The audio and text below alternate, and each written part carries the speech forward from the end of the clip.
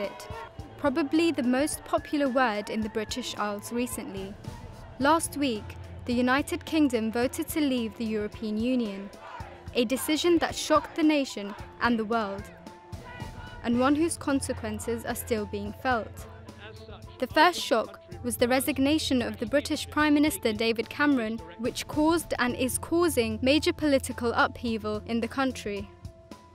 Huge volatility in the stock markets also ensued, causing a period of global uncertainty. The value of the British pound fell by 10% to $1.35, which was its lowest level against the dollar over 30 years. This in addition to the UK losing its prized credit ratings from some of the leading agencies in the industry. They said that the result could lead to a deterioration of the UK's economic performance, including its large financial services sector, and have forecasted an abrupt slowdown in the growth in short term Fitch. The crisis has put all eyes on Britain as it seeks to negotiate its way out of the world's largest trading bloc. And other economies are anticipating the potential ramifications of the move. So, what does this mean for Asia? Asia's direct exposure to the weakened UK economy and currency is limited, but more significant for some regional economies than others. Trade shares are small, though higher with Vietnam and India, and lower with South Korea, which is the least exposed to Asian economy. Japan, India, and Australia all have substantial investments in the United Kingdom, largely based on the European market. Japan's currency, the yen, spiked after the vote as investors sought safety in this traditional haven. But Japan needs the yen to stay weak, so it can export its goods around the world. The Japanese finance minister Taro Aso tried to ensure financial investors in Tokyo by saying he's watching the situation urgently and his country will take action if needed to calm markets if necessary. The biggest uncertainty for Japan is how individual Asian companies with strong UK links react, such as the car groups Nissan and Toyota, both of which have manufacturing operations in England.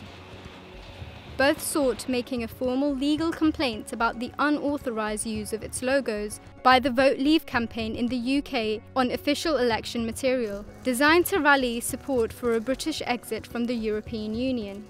For China, the European Union, which the UK was part of, represents a bigger destination for its goods than the United States. The EU is China's largest trading partner, and as China enters an era of slower growth, the timing of political and economic turmoil in the Union hasn't been welcomed. Any uncertainty in Europe will negatively impact China. As for India, Brexit had an equal shock. The Bombay Stock Exchange initially suffered nearly a 1,000 points lost, while Nifty 50 index lost more than 300 points. However, the Reserve Bank of India Governor Raghuram Rajan said that India's strong fundamentals will help it remain largely immune from the shock. Other currencies, such as the Australian dollar, the Malaysian ringgit, and the South Korean won, have all tumbled. There are other significant impacts for Asia. Singapore's trade stands at 351% of its GDP, and it amounts to 439% of Hong Kong's GDP. Growth in the global trade has been slowing in recent years, and now with Brexit, it will be even slower. For Indonesia, the UK's decision to depart from the EU is likely to postpone the negotiation process of Indonesia EU Comprehensive Economic Partnership Agreement. In the face of these new global headwinds, it will certainly require a lot of ambition for Asia to undertake the next round of reforms essential to lifting productivity and accelerating structural change. Brexit, according to some commentators, is becoming a setback to globalization because one of the biggest economies in the world has stepped away from the world's largest trading bloc. This means that Asia needs effective articulation of the strategies that can stake out Asia's role in the global defence against the virus on anti globalisation.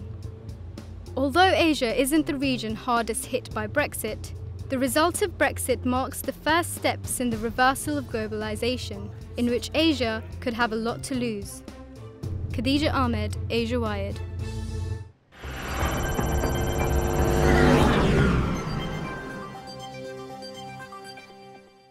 Joining me now to explore the fallout is Dr. Ulrich Volz, who is head of the Department of Economics at SOAS University of London and member of the Advisory Council at the Asian Development Bank Institute in Tokyo. Uh, thank you for joining us, Dr. Volz. Um, so, in your assessment, how has Brexit affected the region so far uh, in terms of its impact on currencies, investments, and trade? Well, hello. Um, pleasure to join you. Um, there obviously have been some some uh, very immediate effects, uh, but um, the region has not been uh, affected uh, very differently from other regions. So I mean, there have been uh, shock waves going through the global financial system, and uh, there have been different stock markets collapsing in in Asia, including big hits for the Nikkei in Tokyo. Also, Hong Kong, Singapore stock markets, Korean stock markets, and so on going down. Um, and also, there have been quite big hits on a number of currencies, uh, including uh, the renminbi, uh, the Indian rupee, uh, and the Korean uh, won. Uh, but other currencies, including the Indonesian rupee, interestingly, and also the Japanese yen, actually appreciated in response to the Brexit. Uh, and especially uh, the, the, Japanese yen had a, had a very large uh, appreciation, which caused great concerns in Tokyo. Um, but overall, I would say these were kind of short term uh, effects, and, and the uh, kind of medium long term effects for the Asian region uh, are likely to be much less pronounced. And do you think now companies you know, Asian companies who have their headquarters in the UK, do you think uh, there's a potential potential uh, sort of fallout that they will relocate uh, away from the UK?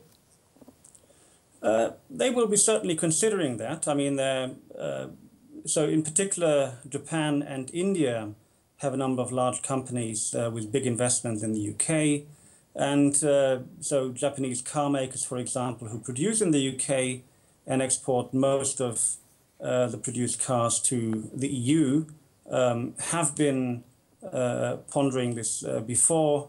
Um, they haven't decided on this yet, but um, uh, there probably will be uh, relocations, certainly in the financial sector, where EU kind of, sorry, certainly in the financial sector where UK based banks uh, will be constrained in, in uh, uh operating across the EU single market.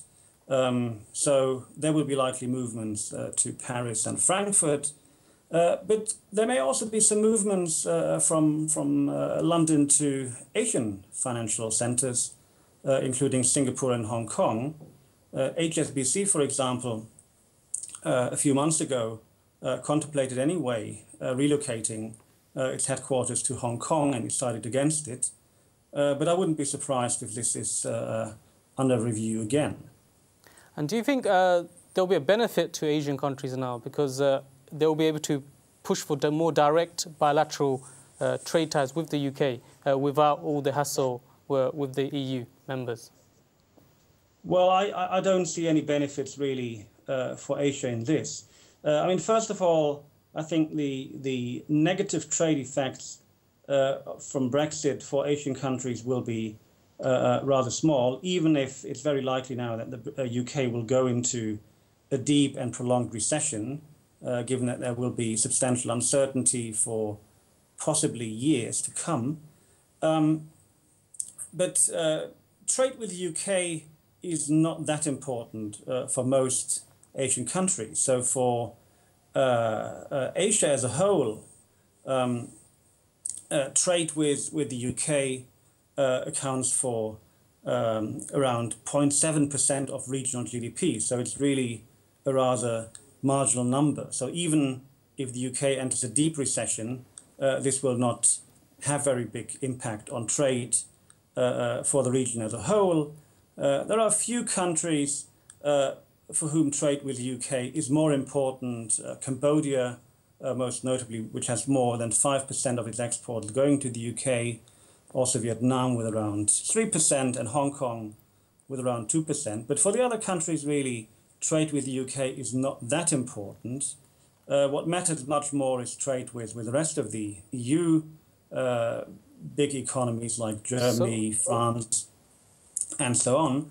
And uh, so it's also more uh, kind of negative effects on, on EU countries, on the rest of the EU, uh, that could cause trouble. So if, if, if the UK Brexit uh, causes um, a recession in, in, in, in uh, the EU, which I don't think it will, but it will, will have a negative effect on growth for sure, um, then this would feed back into uh, to Asia. So on, um, that, so on that point, sorry to, sorry to disturb, um, in terms of China, uh, I know you said uh, there'll be minimal uh, impact in terms of trade, but in terms of as a political player, uh, the UK has been a massive backer uh, with China uh, for it to get a free trade deal with the EU. Um, do you think it will complicate this sort of process now without the UK? Oh, you, are totally right. China um, or Britain has been a, a, kind of strategic ally for China in in the EU and this ally is now lost. Um, but for the Chinese, having trade deals with the UK alone is not that interesting, really. I mean, uh, okay, the UK is still uh, the fifth largest economy in the world, um, but uh, uh the scope for, for greater exports uh, from China to the UK is not that great. Um, so, uh, what really matters for, for China is having kind of open access to, to the EU at large and um, kind of the chance of getting a good trade deal with the EU uh, have diminished a little bit now uh, with the UK out of the game. Um, so uh, I definitely don't see any great benefits. I mean, even if you think in kind of geopolitical terms, I mean, there has been uh, uh, having people saying uh, Russia and China will will kind of be geopolitical winners of this. For Russia, this may be true, but I don't see this uh, being true for China because China um, is really benefiting from a strong, open Europe and um, also as a counterweight uh, to the uh, US. Um, and uh, so I don't really see any benefits uh, for Asia in this respect. And uh, you referred to um, Asian investment in the UK uh, this is certainly much less uh, strategic and interesting now. Um, so, uh, also given the uncertainties, this will go down, but this will have uh, negative impact on the UK first and foremost. And uh, so, the UK really, I think, is, is, is has shot itself in the foot. And for Asia, um, it's not nice, but, but the effects will be so, limited. So we're just running out of time. Um, so quickly, um, so some have said uh, on the on the same sort of theme uh, that Brexit represents a slowdown uh, of the and maybe the first steps of a reversal uh, of the globalization that's defined the mar- defined markets in recent decades. Um, because when one of the biggest economies in the world uh, steps back from the world's largest trading bloc, uh, it's a pretty powerful statement, isn't it? your thoughts? It is, but uh, we need to be clear. Globalization has been somewhat in reverse already uh, since 2008 with the global financial crisis. Uh, trade, global uh, trade has has uh, not grown uh, the way it, it grew before, um, and this really causes and, and has been causing problems also for Asia, which has to a large extent relied in its growth model, or the different countries have relied in their growth models on uh, um, growing exports to EU markets. And um, the UK pulling out of this um, may be one more element in, in this uh, kind of slowdown or maybe even unwinding of, of uh, uh, globalization.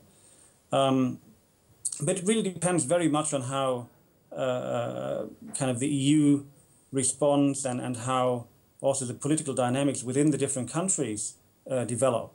Uh, there's certainly a worst case scenario uh, with kind of this populist Brexit win in the UK, fueling similar tendencies in France with, with um, Front National or in other EU countries, uh, kind of stirring nationalism and and and uh, Uh, so it's very important, um, kind of that uh, we try to to really promote uh, international cooperation uh, and and uh, kind of fight these nationalistic tendencies. Um, and uh, just the last point before you cut me off, I'd like to mention is that um, maybe there are there's one one good side effect for Asians, um, and that is the weak pound uh, will make uh, travel to the UK much more cheaper, and also uh, studying in the UK uh, will be a great deal de- uh, a great deal cheaper. So um, I welcome all applications uh, from from Asia to my and other universities. thank you, Dr. Volz from SOAS University of London, for joining us. but that's the end of this segment. so now we look at the rest of the talking points this week.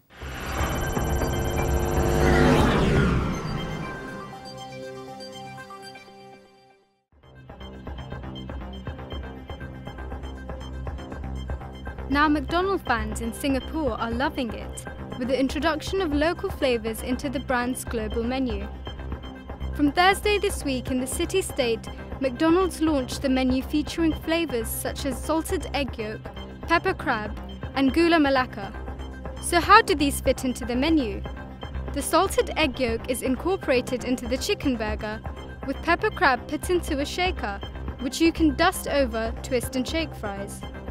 The famous pudding, the Gula Melaka, is now transformed into a McFlurry with added layer cake bites. Two other items will also be available for a limited time the spicy McNuggets and the banana pie, which will both be making a comeback. But you have to hurry, it's for a limited time only. After the terrible attacks this week in the city of Istanbul in Turkey, the wider Muslim community has been showing their solidarity. In Pakistan, the hashtag PakTurkStandUnited started trending on Twitter with many sharing images of solidarity. Images of both of the nation's flags have been a popular feature with both featuring the commonly understood symbol of Islam, the star and crescent moon. Rahil Amjad said that the blasts in Turkey was as saddening and heartbreaking as seeing blasts in his own homeland. Muhammad Mehtab added, Turkish brothers, be patient. Allah is with us. We will be successful, inshallah. Others have picked on the selective outrage that parts of the global media and community have been displaying. Muhammad Faisal tweeted this picture saying, True story of the world media. All my thoughts go out to the victims and their families. Now, a new hashtag conversation launched on Tuesday in the United States and got global Asians talking. Termed being Asian, it's got many writing what it's like to be Asian and the racism that comes with it. So, what did they say? Illy said that being Asian meant that parents were forever comparing you with everyone's children. Another tweeter added that rice was air, the light, life, and everything.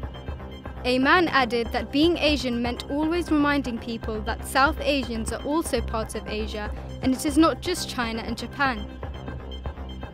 Marco Javier added a more political point, saying being Asian meant being told, wow, your English is perfect all the time, as if Asian countries weren't colonized by the West. Hashtag being Asian was first tweeted out by 17 year old Michael Taru on Tuesday afternoon, aiming to connect Asian Americans online in an effort to show the similarities and the diversity among the Asian American experience. Taru said that the hashtag came out during a group chat on Twitter with some of his peers, including Twitter user at Shaylness, who he credits with creating the hashtag. He said confronting issues such as the racism we face and the internalized racism it has caused in many of us is important as it helps us move forward. We also believed it was very important we discuss the issues highly prevalent in our communities, such as racism against one another, colorism, and anti blackness.